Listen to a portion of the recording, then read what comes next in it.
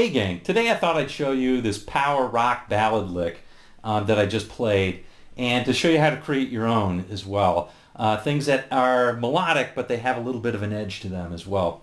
Um, I also want to say to a couple of people, a number of people have requested melodic rock soloing. I have a video on that coming up, uh, a longer video on that coming up. So this is not it, although it may contain some elements of that. Uh, that is coming up. All right, so let's get to it. Uh, we'll go through the, uh, the solo note for note, or the, the little lick note for note, and uh, show you how to create your own. Hey, and if you like this gang, click the like button, and if you haven't yet, click subscribe to get one of these every week. Let's see in just a second. All right, gang, let's go over this note for note. First things first, download the tab from the link in the description below. It's going to make your life a lot easier. Second thing on the sound, uh, I'm playing Les Paul. Obviously, I'm playing out of the bridge position. Volume on 10, decent amount of gain, so you get that nice sustain. And uh, however you want to do that, it's up to you, but uh, you want that sustained sound. Big sort of sound.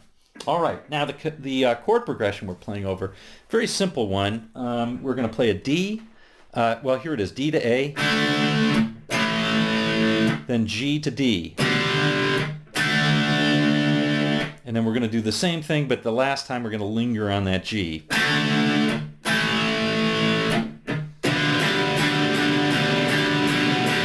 All right, and this lick takes you one time through that whole progression.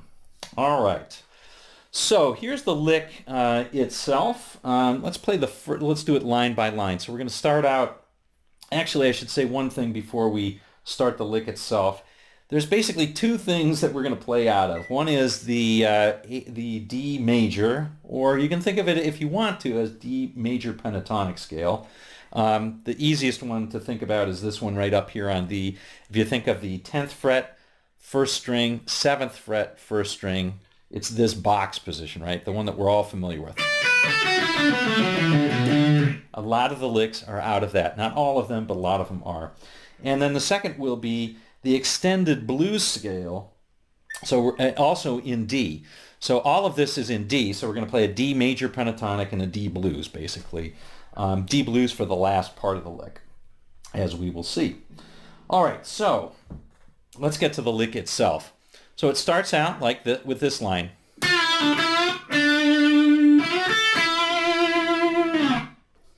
Uh, all right. So uh, the first line's pretty straightforward. We have a couple of pickup notes. And then we're going to play that D to start out on that D chord, first beat. All right, so the, the pickup notes are these. And that's just pretty straightforward, kind of common lick. On the ninth fret, third string, we're going to bend up oh, I don't know, maybe a half uh, and pull it back down, uh, pull off to the seventh, and then play a full step bend on that ninth and pull back off on the seventh and give it lots of vibrato, like so.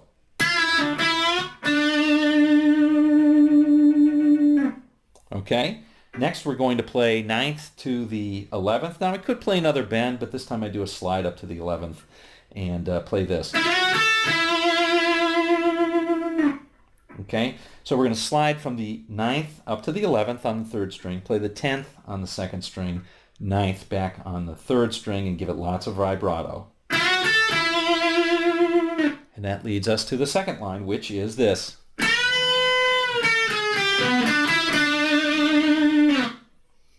Okay, now watch the timing. You want this bend to be kind of dramatic. Okay, we're going to go to the second string, 10th fret, bend that up a whole step, and slowly bring it down. Now, if you know the rake technique of, of bending a string as well, you might want to try that one. That's kind of your, your deadening, uh, say, strings four and three, and when so you can get that harder hit on the third on the second string. If you can't do that, that's okay too. But if you if you want to, that's a great place to do that. Okay, so we're going to bend that up and slowly bring it down. And then we, when we get back down to the 10th, we're going to play 10, 9, 8 skip a string, go to the fourth, and play the ninth on the on the fourth string. And then seven, nine, seven on the third. All right, here's that whole lick, or here's that whole line.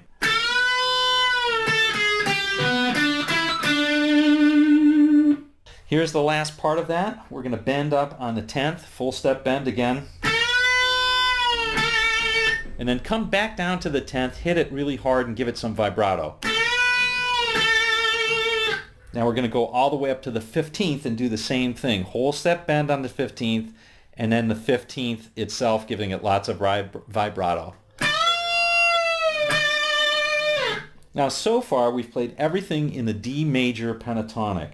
But now we're going to switch to the blues scale, okay? And now this is an extended position for the blues scale. If you don't know it, you can look at one of my minor pentatonic uh, videos um, that I've posted before, and you can you can get the uh, the fingerings up there. But let's just do the fingering for the lick, okay? Now we're going to bend on the 15th a whole step. All right, so that is, um, we're bending up a 15th a whole step, bringing it down to the 15th. It's on the first string. Playing the 13th, then the 15th again. 17th, 13th, and 15th on the second, giving it lots of vibrato. That's a nice little bluesy edge there. So again, here's what that lick is. Now you want to play that very hard and give that last one on the 15th, second, second string, lots of vibrato. Okay, it ends with this little line as we're tailing off.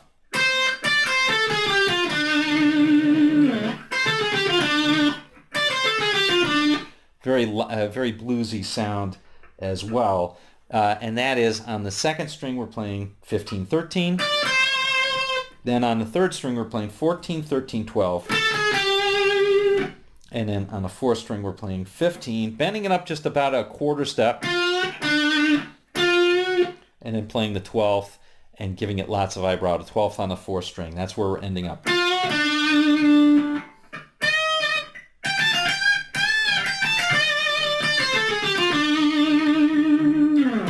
And that's kind of as it's trailing off.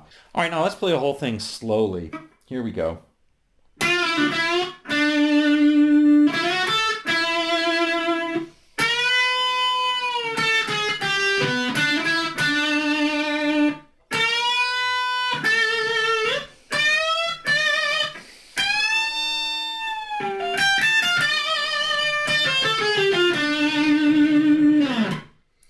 That's how the whole thing sounds put together.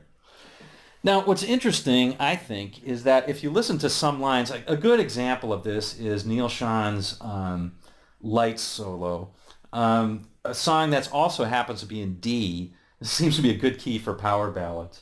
In any event, most of what he plays is in the major pentatonic, but there's a line or two where he plays out of the, um, actually, it's almost that same line.